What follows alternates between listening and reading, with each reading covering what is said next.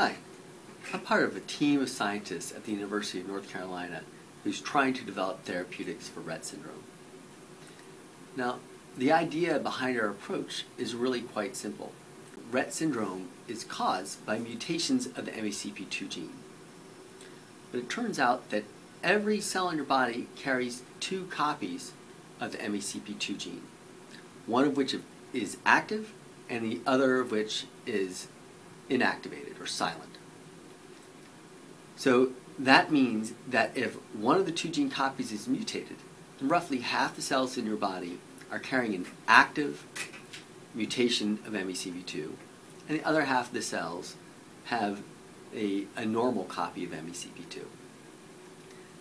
So the approach that we're taking is to try to turn on the second backup copy of MECP2 with the expectation that if we can turn on the dormant copy of MECP2, this can replace functions that are lost in cells that are normally carrying the active mutation of MECP2.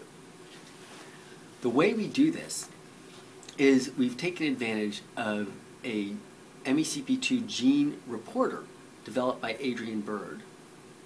So the idea is that when the MECP2 gene copy is turned on, cells will glow, they'll fluoresce.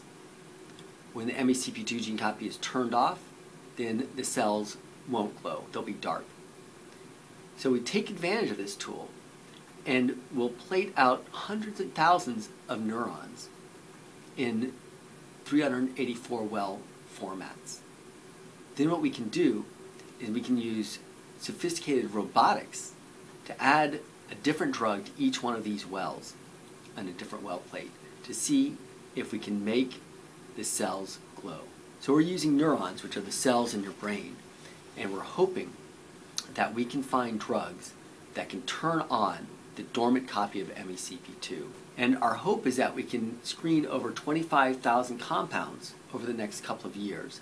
And through this type of high throughput screening, we can find a drug that can turn on the MECP2 dormant copy and hence be a potential treatment for Rett syndrome. This research effort requires lots and lots of scientists. So we're working with three large labs at the University of North Carolina. We're working with my lab, which has expertise in neurons. We're working with the lab of Terry Magnuson, which has expertise in the X chromosome. And we're working with the lab of Dr. Brian Roth, who has expertise in drug discovery. So in fact, he is the director of the National Institute of Mental Health's psychoactive drug screening program. So he's incredible expertise that's normally only found in pharmaceutical companies. I should also say that this approach uh, is even too big for one university. So we're collaborating with other laboratories across the nation, including laboratories from MIT, from Harvard, from that Fred Hutchinson Cancer Research Center in Seattle, uh, at the University of Massachusetts in Worcester, and uh, at the University of Pennsylvania. So together, all these labs are sharing their information, and we're trying to learn from each other's experiences so we can increase the chances of finding a therapeutic.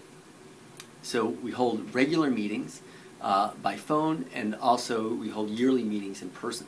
So the, the most recent meeting was in May, and all of us got together to discuss our successes and some obstacles we face so that we can try to fine tune our research approach. So this requires uh, an incredible amount of money and it also requires an incredible amount of organization.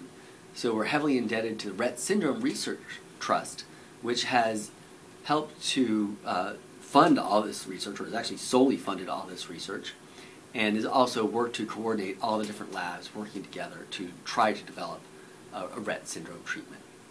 So it really is my hope that we can find a drug that, be, that can be given to individuals with Rett syndrome so that we can turn on the dormant copy of MECP2 and then hopefully make neurons in the brain healthy and able to form proper connections and thus treat Rett syndrome. So I'm really optimistic for the future of Rett syndrome, and I hope to be a small uh, part of a large team that's working to develop new therapeutics.